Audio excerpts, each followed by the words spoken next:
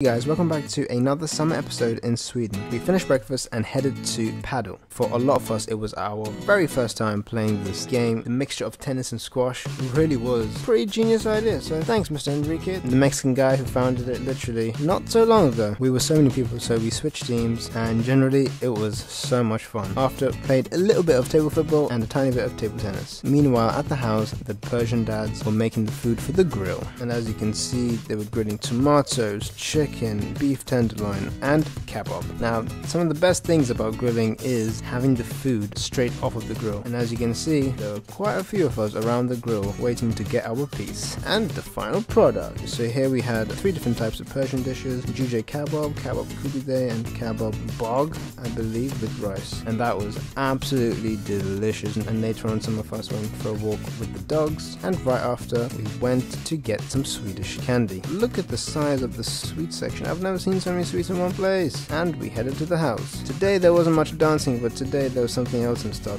It was basically a game night. And so we played a bunch of games, which was a lot of fun.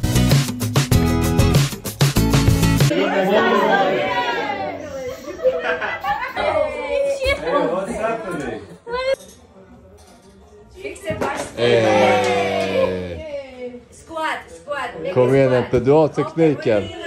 Oh, dig. No.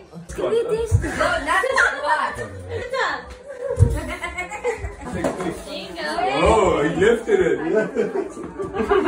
And finally, to end the night, we somehow got into a fitness competition. So we did a bunch of different little competitions like push-ups and planks and squats and so on, and etc. etc. And that was basically it.